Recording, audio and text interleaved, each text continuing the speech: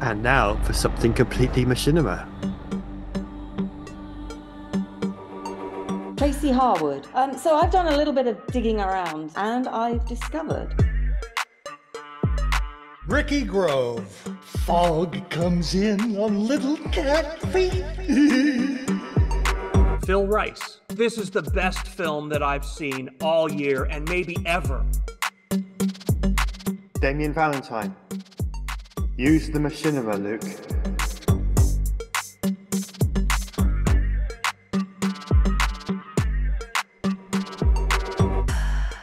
Hello, and welcome to another episode of And Now for Something Completely Machinima. I'm Damien Valentine, and I'm joined by Phil Rice Hello. and Tracy Harwood. Hello. Um, Ricky is still uh, having a really terrifying time at his uh, convention. Um, I hope he's enjoying himself. Um, so uh, we're going to be talking about film this week that Tracy you have chosen for us. So uh, tell us about it, please. Yes. I'm just trying to figure out how to say the creator's name. Lol Rick. Yeah, I don't know. I'm not sure Lol if I Ripke? if I if I uh, Mm. if I make a mistake uh, and have totally butchered that, I do apologize. Anyway, yes, by Lol Rip. Um, this is Assault on 2Fort, and actually, this isn't really my pick. I've got to be honest. It was one of the commentators um, on that absolutely stunning work um, that we looked at in episode 135 by Dominzki called The Wanderer. Um, and this was a recommendation that came through a discussion on on that particular film, um, which was actually also a source um, film. So this week's project then took at least, I think, two years to realize. It began, uh, the, the creative work on it began in around 2020 with some of the clips um, having even been done as early as 2018. And it's a, a project that's been uh, led by JP Stevens, known as Lol Ripk, um, who actually describes himself as a YouTuber. Um, it's a little longer than some of the machinimas we review at uh, 12 and a half minutes. Uh, and I think the original aim was to have this released as a longer format film of actually around 30 minutes. Um, but in the end, given the amount of effort that went into it, or has gone into it, it's being released episodically. This part that we're discussing this week being the first episode. Um, and as we stand here at the moment, we're still waiting for part two um, to be released. Although there is a trailer for it, which I'll put a link on as well for those of you that are particularly interested. Now, Lol Ripk has said that he has struggled to continue the story basically because he's been making it more and more ambitious, um, which has basically meant that the project just got bigger and probably more challenging as a consequence. I'm sure you guys will all um, appreciate that sort of uh, Yeah. Reflection. Um, I think for what it's worth, um, longer format uh, machinimas can be really quite hard to watch. So maybe the way to go isn't bigger, but to go smaller. Uh, and then to have in mind that making a, a feature is never just, um, you know, just stitching the shorts together, really. Um, I think the internet is full of unfinished short series projects, and many of them I think are a reflection of the fact that life moves on, um, probably beyond this kind of crazy uh, creative passion that that you know we all kind of share through um, creating and, and and watching machinima. All of that said, I think this creator is committed to making the part, um, the second part of it. Um, I just kind of wish him all the very best in doing that. Now, the plot for this particular film, this first part, um, well, it's obviously an excerpt um, from an evidently long-running battle between these two factions, Red and Blue. It um, starts with a raid by Blue on Red, uh, which leads to a kind of a retaliation on Blue's base, and the story is very much told from Red's perspective. These are a group of four characters, including including the the main focal character, who really interestingly for Team Fortress is actually a Girl Scout. that's, I think, an interesting take on it. Now, what's impressive about this is actually the fight choreography between the two sides over what appears to be a fairly extensive map, despite, I think, not, uh, well, we know next to nothing about the characters beyond what you know of the game. So, um, I think it's quite interesting actually that you can clearly see who is on which side and how they are performing in the running battles. And I don't think I got a sense at any point of losing who's on what side, who's red, who's blue, which is an interesting point because there are quite a lot of characters in it. Um, there's an impressive depth of emotion too portrayed by the characters.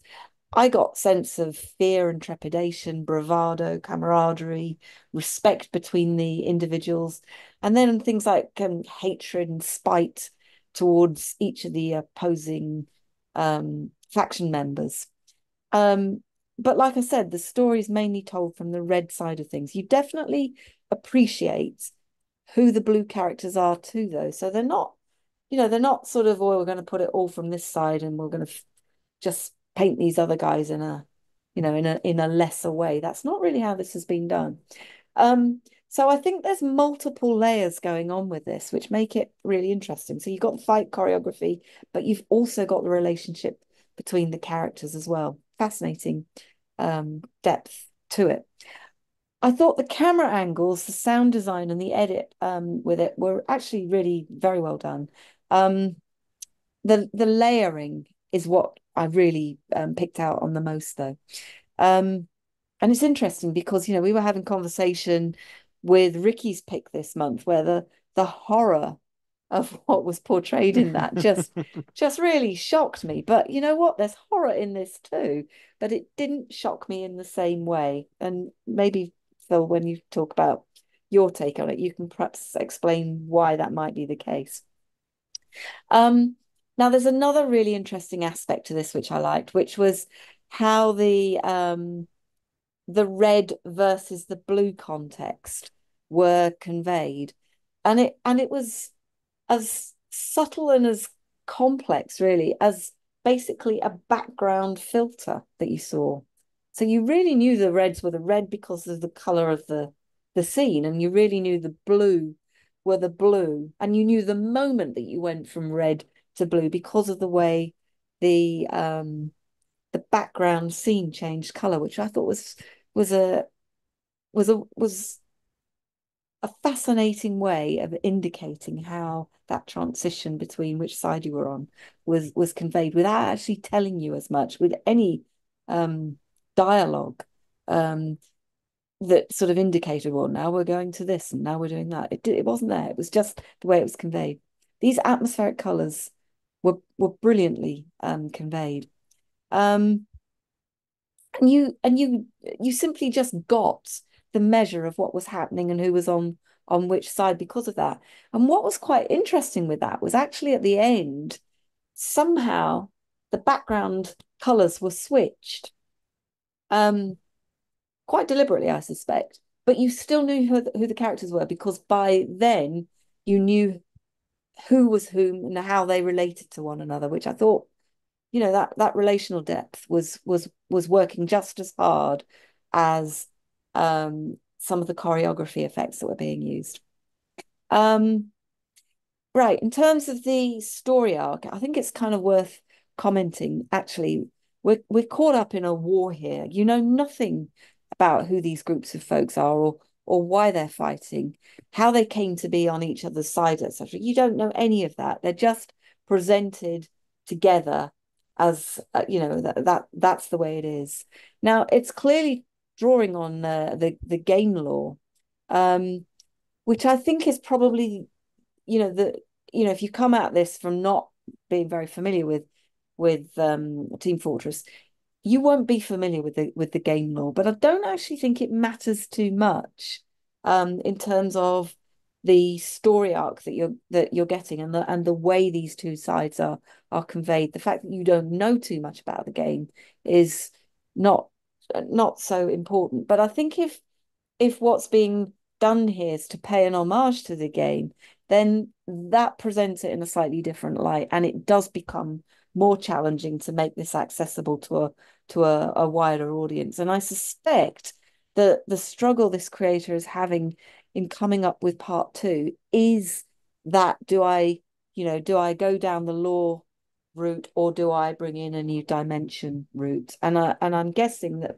because this has been developed with um, so much attention to the community of followers, that that's a very fine line to sort of um, tread in the creative process because you're going to have lots of folks that are very into the game lore and what you're trying to do is perhaps build out something a little bit different. Um, so I think that's probably kind of all I would say on it, really. I mean, I think we've seen lots of machinimas do something like this. Um, and also lots of folks never actually complete a, a, a significant um, project like this. Um, so, you know, I really enjoyed it. I, I thought it was, I thought it was, it was really interesting on so many different levels. I hope to, hopefully I've managed to convey that. Um, definitely encourage you to finish it because I'm really looking forward to seeing the next part of it. Um, so guys, what did you think? Go ahead, Damien. All right. Um, I was, I got so many thoughts on this one.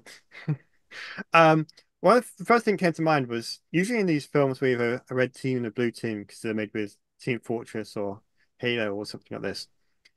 It's told from the story of the blue team, and the red team usually are portrayed as the bad guys. And okay, red versus blue is a comedy, so it doesn't really matter that much. But a lot of these other films where they're trying to tell a more serious story, it's always the blue team's the heroes and the red team's are the bad guys. I don't know why. It just seems to be the way it's done. And the first thing that struck me was this. This is told from the perspective of the red team. And I don't know if that's a deliberate choice or just doing something different or what, but I, I kind of liked that it was reversed that way. Um, but yeah, this is made with the source filmmaker. And as we discussed uh, a few times before, the source filmmaker is a really hard piece of software to use and well, just to learn. It's I think someone once told me it's like sitting in front of a 747 uh, in uh, in a cockpit and just looking at the controls and having no idea what to do. Um, so when you see something like this and it is so flawlessly animated and there's so much attention to detail to the animation and the the facial expression um uh you know that's really hard to pull off but then you also got this element of it's a fairly lo this film is a fairly long action sequence. There's some calmer moments throughout but mostly it's focused on the action. Action sequences are hard to pull off. So when you've got no matter even if using um yeah, something like GTA or something which is designed for action, it's still hard to do a good, you know, sequence. So when you've got a piece of software like Source Filmmaker, which is already incredibly hard to use, and then you got the, the challenge on top of that of doing something like this, uh, I'm not surprised it took two years to do it and why you're struggling to, with part two. I hope he finishes part two because I really want to see more of this. It was so impressive and so well done. Probably my favorite pick of the month uh, just because of the amount of work that must have gone into pulling this off. And the, the action was flawless. Um, Mm. And yeah, it's very gory, uh, a little bit over the top. I don't know if the actual game is that gory or if he's if this is added in extra. Um, it appealed to my dark sense of humor a little bit, which we discussed this before we recorded, and I was surprised that you two weren't quite so amused by it as I was. Um, so maybe I need to watch it again with a slightly more serious take on it. Um, yeah, I yeah, this is one of those films where if you're planning to do an action sequence in your own film, watch something like this because it'll give you a lot of ideas, a lot of inspiration of you know how to play, how to move the camera, where to focus, um, um, you know, all of that stuff. And yeah, I I'm struggling here now because I could just praise this on and on, and I just end up repeating myself because I was blown away by how impressively well animated and uh, um, it was. And yeah, please do finish part two. I'd really like to see it. Uh, I did have a as soon as I finished watching it, I went to the channel to look for it, and I just saw the trailer, but there's no sign of it itself. So, um, Mm. whatever struggles you're going through, I, I hope you uh, figure it out, uh, and then you know we can see it, and I imagine we'll review that one as well at some point uh, when we see it. So, uh, I wish you luck. All right, so here's my question to kick things off here is what is the lore for Team Fortress 2? Or maybe the better way to put it is is there actually a lore? So here's why I'm asking that. Uh, Team Fortress originally started off as a free mod for the game Quake. And essentially it was it was like a more advanced version of a capture the flag scenario. You've got two teams and an objective combat based objectives on either side, right? And whoever gets the job done first wins. And what Team Fortress added to that, you know, traditional capture the flag in those games was just four equal players or however many equal players on each team. And it's just about it's just deathmatch and strategy and can you outrun and all of that. And what team fortress added was this idea of player classes. So player classes would have different abilities. Um, so you know there's there's one player that specialized in stealth and there's another class that specialized in dem- demolition and another one that carries a really big gun and you know and all of that and so Team Fortress 2 was really just building more on that idea. And not only did the different classes exist, but they actually invested in creating personalities to go with those types. And so not just in their look, but in their voice and in their movement and everything. And so it it it made the whole experience of it uh, more engaging and more interesting to look at while still preserving the core gameplay of these team-based, class-based battles, right? Um, I'm not aware of any developer-based lore other than the the fact that these you know that these classes have personalities. And then there's kind of implied i'm not sure how much is by the developers of the game and how much of it is what players have constructed around it but the idea of well they have personalities therefore they have backstories. Hmm. You know why are they that way? You know so I, I can't help but wonder if if there's and he even refers to the lore in his description doesn't he saying that he decided not to really emphasize that or go down that route or something along those lines and I found myself thinking, what lore? And it, it just makes me wonder like, did the lore around this game emerge organically from the players over however many? I mean, it's more than two decades that this game has been played in some form or another. Um, so yeah, that's that's interesting to me because I, I mean, you can scroll through the Wikipedia article for Team Fortress 2 and there's no mention of lore. Mm. There's no Mm. mention of story of any kind, really.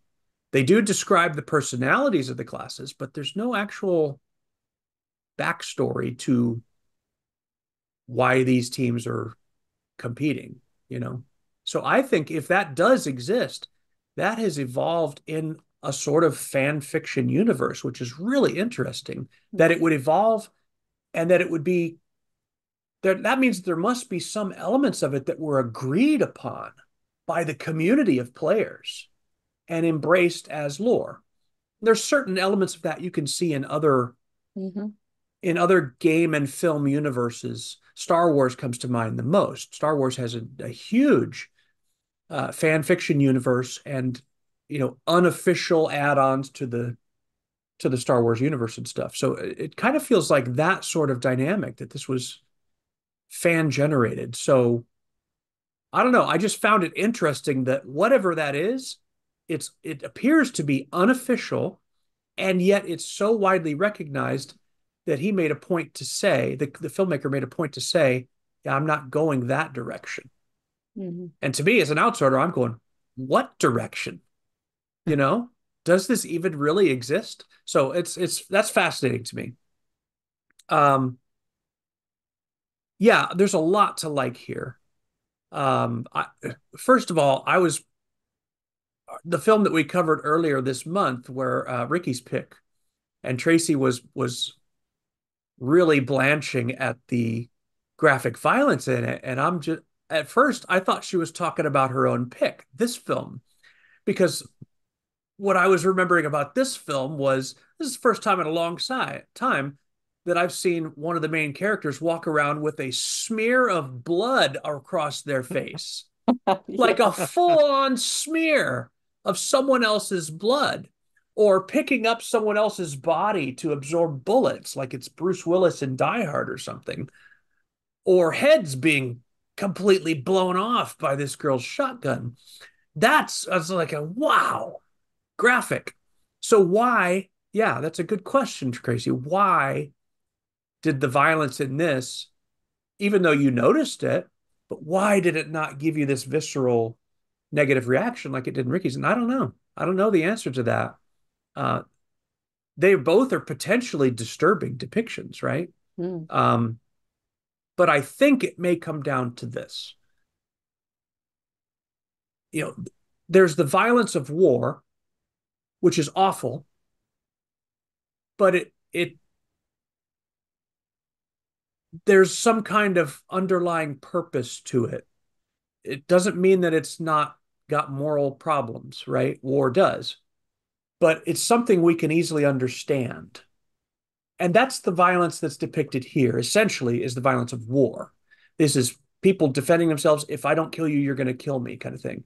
And I think the violence in Ricky's pick was just full on sadism, just full on psychopathic behavior. Someone seeming to maybe take a little pleasure in mutilating the body of another person. And that is more disturbing, period, in any context. We could, if we wanted to take the podcast in this direction, we could reference some historical things that have happened in the past 12 months where that was pretty clearly illustrated as well, but we're not going to do that. So, yeah, that's that's why I think the violence was more disturbing in, in Ricky's pick is the context. Context was that was a monster of a person who was delighting in tearing up another human being. And these are soldiers fighting for their lives. And yes, it's it's bloody and it's nasty and it's awful, but that's what it is. It could also just be that this is a little more cartoonish, but I don't think it's just that. This violence is really graphic. There's body parts flying and you know bodies falling downstairs and and a lot of death, right? So I don't think the cartoonish covers that.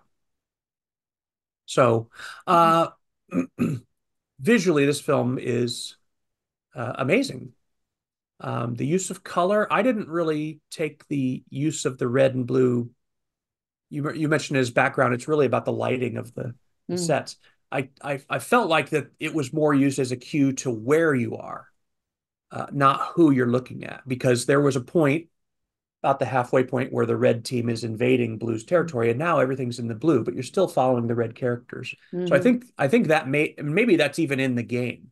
In the original Capture the Flag and in the original Team Fortress, the maps were built with color cues like that to let you know Right. whose territory you were in. So that could just be territorial markings in the game. I'm not sure. Um, but it was used extremely effectively. It really helped orient you to not just who you were looking at, but where they were. Um, so yeah, that was that was great. The the emotional content, I can't remember the exact term that you used to describe it, Tracy. The the but yeah, it's really rich in this. Mm. Um, It's maybe little things, isn't it? It's Yes. little little things like one of the big big chaps puts put his hand around the on the on the girl's shoulder at one point, and I thought, what is that relation? I mean, are they is is that an orphan child scout or you know? It was just the deep little tiny details that my favorite example of it, my favorite example of it is when she first comes back to the red base with Yeah. the blood all over her, and she's just come in. And she goes and starts to wash up, and then just turns and looks at her male compatriots in the room, just gives them a look. And then they all get up and leave and shut the door so that she can disrobe. Nothing said, not not by her. Brilliant, brilliantly done. Um, yeah, she was silent the whole the whole film, wasn't she? I mean, we heard her so. breathe heavy, but I don't think she spoke at all. And I I wasn't really clear whether it's because her character was mute or because she was just choosing not to speak. Works either way, frankly. Uh, but she was very quiet. But she expressed so much uh, because of the way that they animated her, because of liberal uses of close ups to let us know what she's thinking. There was one very iconic shot where she's just finished some combat in this rather fully lit area, and suddenly you hear the sound of and the lights go down. And we're just left with a little bit of light shining on her face as she turns her head. Just beautiful, beautifully done. Like, and, and in her eyes, there's this sense of fear and a little intrepidation and okay, what what's happening? And and yet not not cowering fear, right? The fear of a soldier. All communicated without anybody saying a word. That's just, man, you you can't. I don't think you can teach that. That's just that's a gift, man. Someone involved in this just, wow, wonderful, wonderful visual storytelling. I'm less impressed with the sound. Um,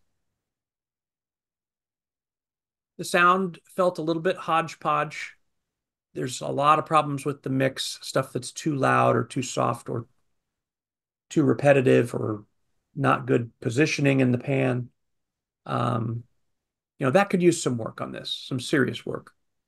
Um, but visually, I mean, there's, uh, it's just a delight. It really is. And, and, and the visuals are so strong and the, the storytelling through mostly through nonverbal, through animation are so strong. And the combat sequences, brutal as they are, I mean, they're, they're brilliantly animated and edited. Like the, it's, there's a logic to them. There's a belief, a believability to them in the context of this slightly cartoonish Team Fortress 2 world.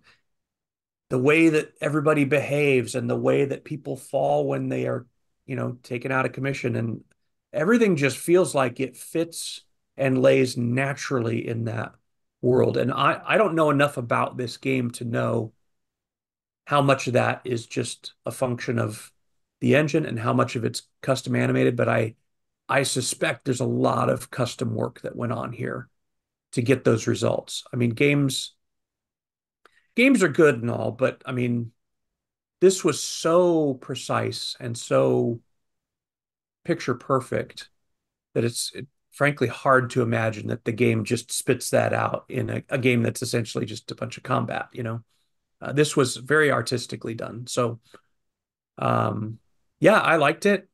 No idea really what the story is. Um, and I don't know anything about, uh, like you said, the the even the the general lore of the game, other than, you know, the game premise. But there's not really a story to that. You know, there's not a, a story needs a why, and there's no why in the story of Team Fortress 2. Mm. But what's interesting is this story doesn't even address the why question, and yet I wasn't bothered by that. Mm. For some reason, just like you described, Tracy, I just felt like I, I was just led along and I was okay. Like that for some reason I didn't need to understand that to enjoy this. Um, Damien, you brought up a really interesting point about the red being the good guys.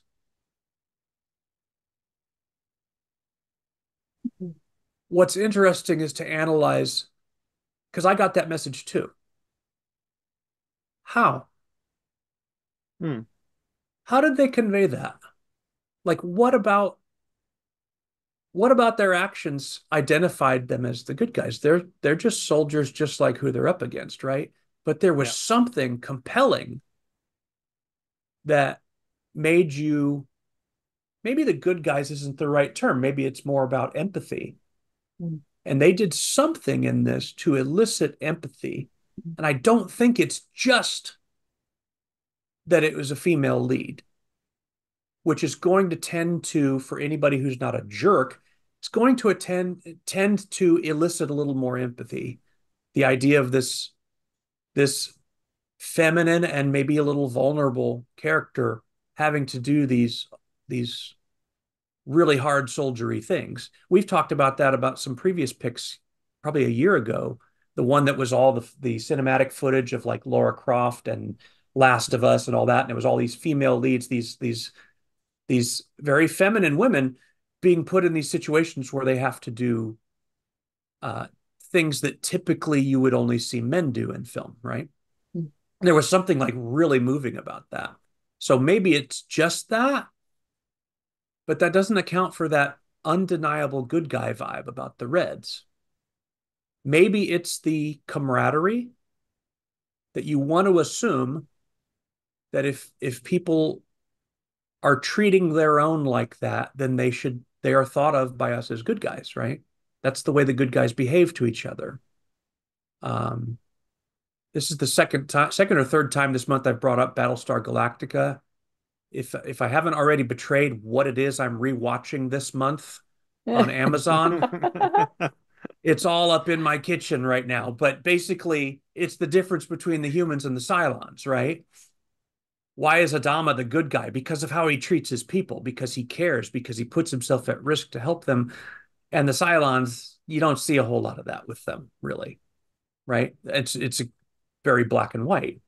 So maybe that's what's going on with us seeing red as the good guys is they did give us a glimpse of that with them but that being said there wasn't really anything in here that explicitly identified the blue teams as the bad guys hmm.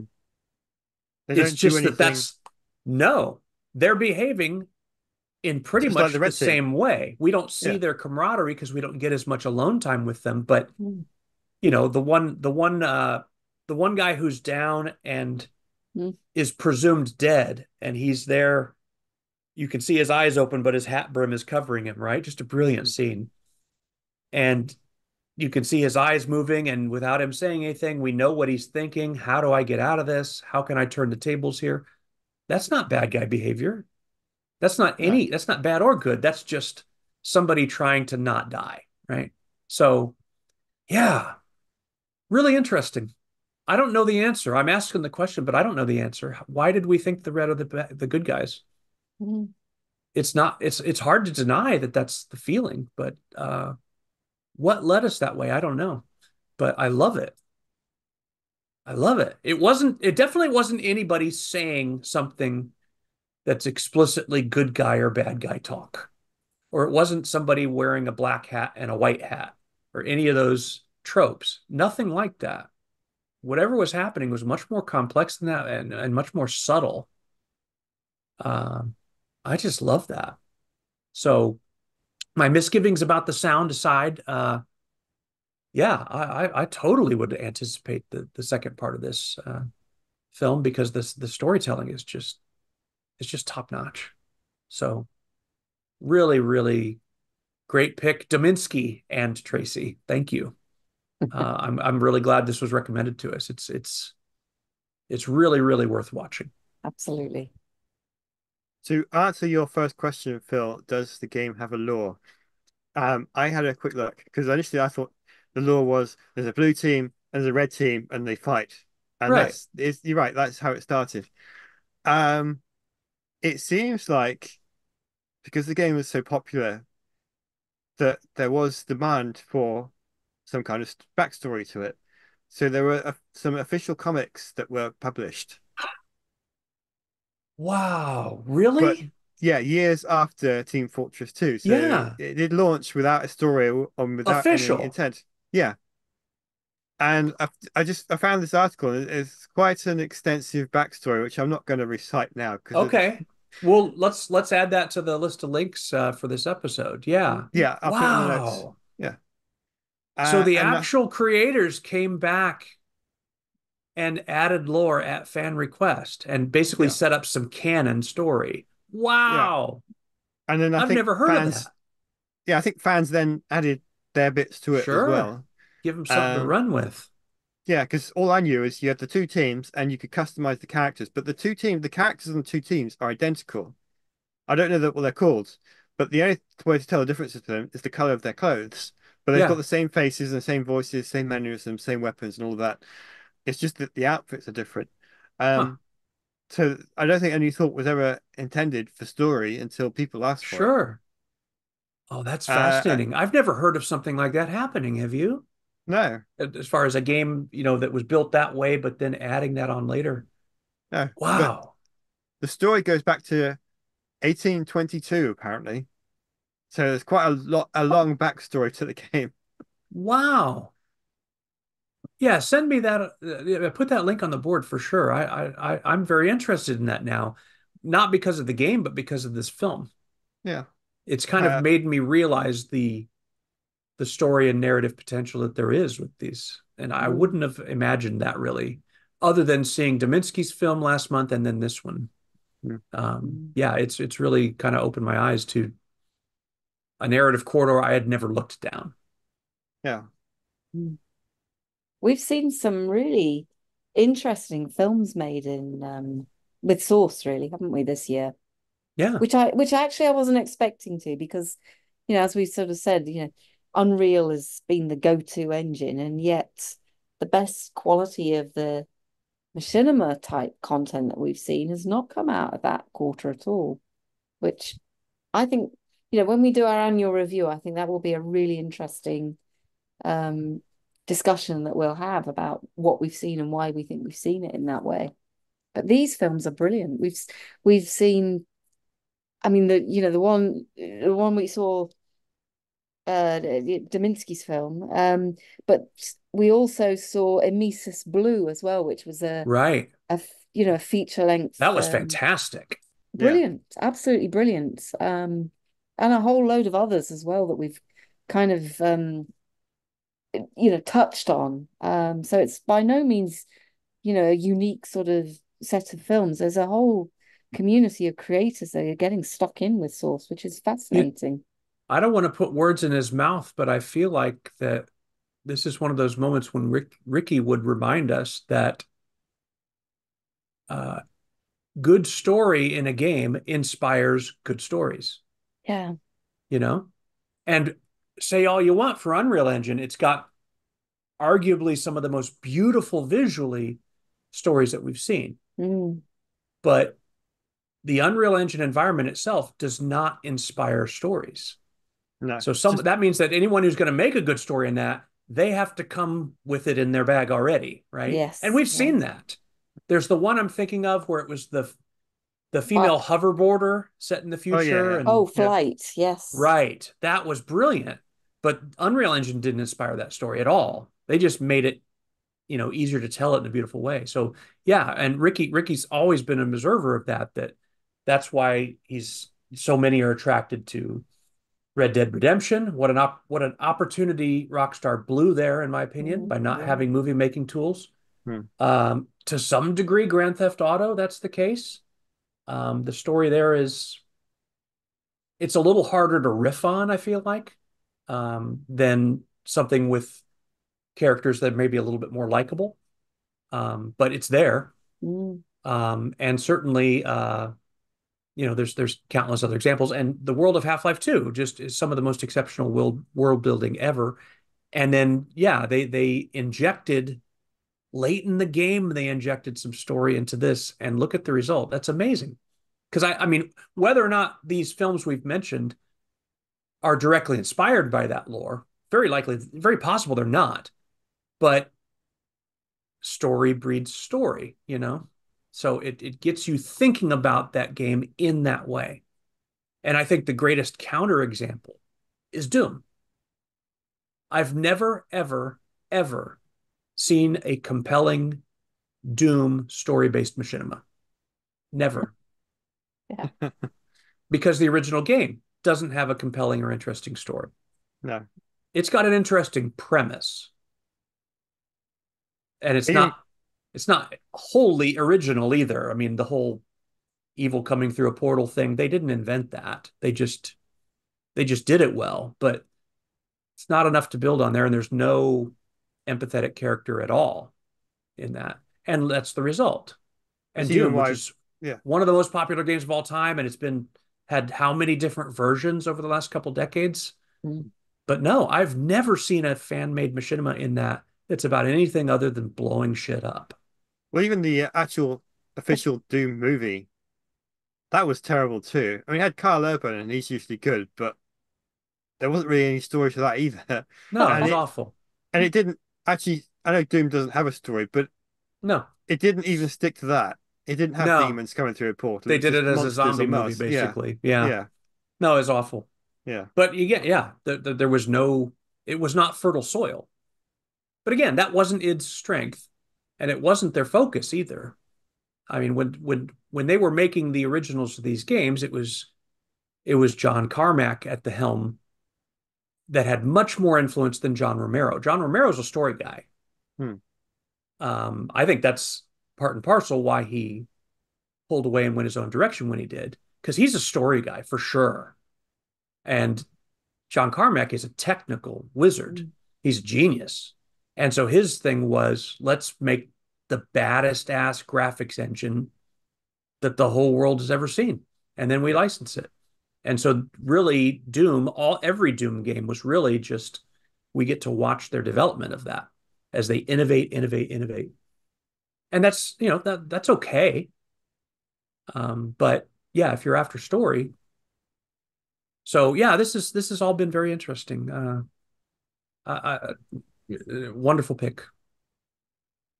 Great picks all month, actually.